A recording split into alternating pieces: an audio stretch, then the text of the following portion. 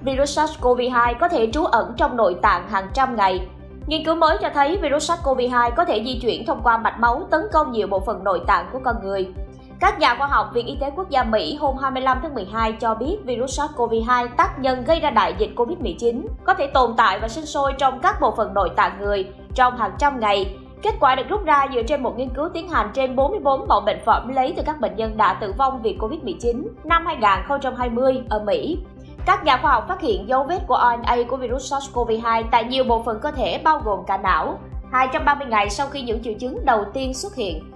Việc hệ miễn dịch không thể phát hiện và tiêu diệt hoàn toàn virus nhiều khả năng là nguyên nhân gây ra hiện tượng người từng mắc COVID-19, trải qua những triệu chứng kéo dài trong nhiều tháng. Các tác giả nghiên cứu cho biết kết quả cho thấy dù virus tập trung chủ yếu ở đường hô hấp và phổi, virus có thể sớm phát tán xâm nhập các tế bào khác của toàn cơ thể bao gồm cả não.